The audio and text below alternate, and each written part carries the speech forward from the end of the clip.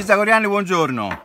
Oggi in edicola il nuovo numero bis di quest'estate 2022, La Vendicatrice, con qualche giorno di ritardo da sabato dovevo uscire, è arrivato oggi in edicola. Ho letto che da molte altre parti d'Italia non è stata rispettata la, la data prefissa eh, non so per quale motivo, se distribuzione o no, non lo so. Allora, ho comunque da oggi in edicola. Albo bis, vedete con la solita banda gialla che segnala la storia inedita e completa come quella dell'anno scorso. Numero 735 bis.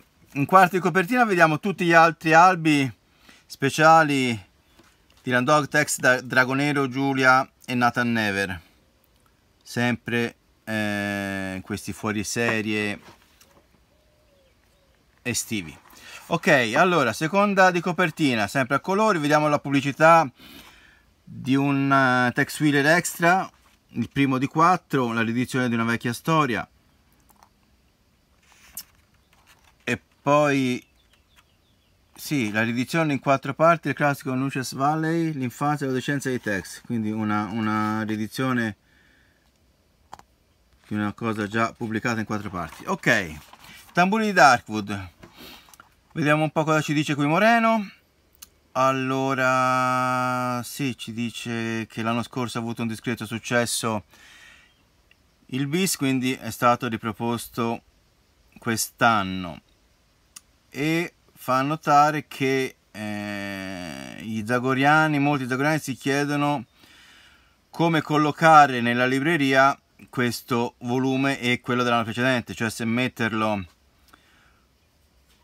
nella cronologia della Zenith, cioè rispettando il numero della costola, se metterlo fra gli speciali o i fuoriserie, perché Moreno disse che era un numero a parte, al di fuori della serie regolare, ma secondo me sono, il problema non si pone perché non, cioè non, non, ora poi lui ci scherza anche sopra, ma eh, secondo me è, è, ovvio che va messo in sequenza con la Zenith. Fa parte della serie Zenith non è un è sempre lo Zenith gigante 300, 735 quindi va messo nella serie della Zenith gigante. Ci sarà il 735 735 bis e poi il 736 io non, non mi pongo proprio il problema di di dove collocarlo. Se fra gli speciali, gli inediti, le storie uniche no secondo me abbastanza chiaro, però chiaramente poi ognuno fa come preferisce.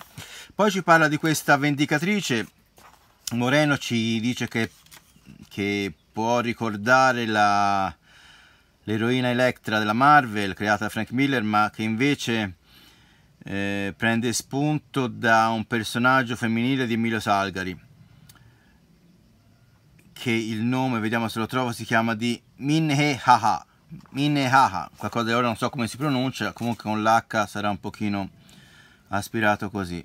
Ho intitolato La scotennatrice di Salgari del 1909 e ci parla un pochino di questo personaggio da cui diciamo prende un pochino spunto. Andiamo a dare un'occhiata veloce all'albo, burattini, testi, pesce, i disegni. Sappiamo ragazzi che pesce per le donne come Laurenti è uno dei migliori in assoluto a disegnare le figure femminili. Già vediamo questa bella tavola iniziale con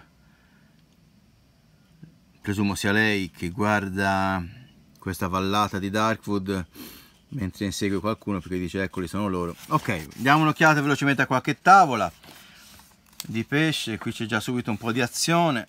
Ora non voglio chiaramente farvi vedere tutto vedete che quanto è bella la figura femminile anche in questa vignetta. Ok. Anche Zago ragazzi molto bello secondo me. Diamo un'occhiata a qualche tavola particolare. Io ancora non l'ho letto ragazzi. Sapete come sempre io ve lo faccio vedere ne parliamo insieme.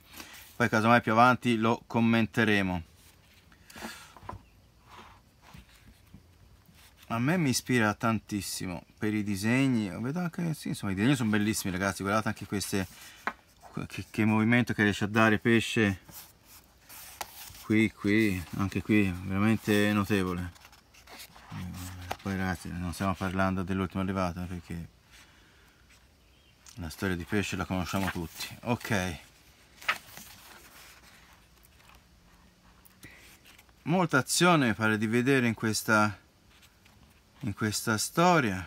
Ora non voglio andare troppo sul finale perché se no ve lo spoiler. Vediamo nella quarta terza e quarta copertina ci sono i due albi estivi luglio e agosto. Il 3 agosto il prossimo che uscirà perché chiaramente quello del 2 luglio è già uscito. La copertina l'abbiamo già vista.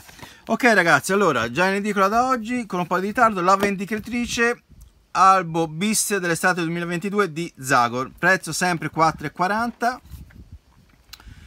già in edicola. Buona giornata a tutti